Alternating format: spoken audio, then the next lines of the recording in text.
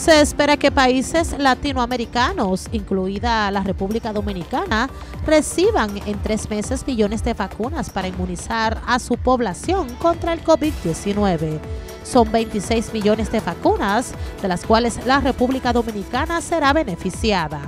Se recuerda que el programa COVAX, creado por la Organización Mundial de la Salud, OMS, y la Alianza para las Vacunas, Gavi, fue destinado a distribuir vacunas anti-COVID-19 en todo el mundo y se espera que entre marzo y mayo ya todos los países agrupados en dicho programa estén recibiendo las dosis.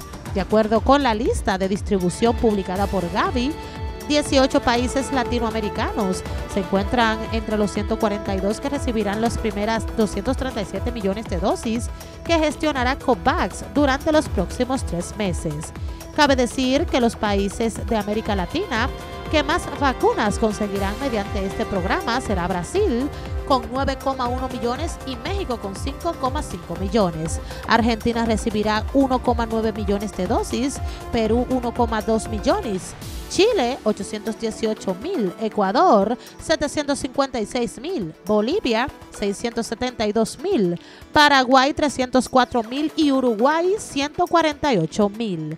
También cabe resaltar que Venezuela no figura en la lista de distribución porque los datos no están muy claros. Sin embargo, ejecutivos de Gavi aseguran que también tendrán dosis. Costa Rica recibirá 218 mil dosis. El Salvador 225 mil, Guatemala 724 mil, Honduras 424 mil, Nicaragua 432 mil y Panamá 184 mil.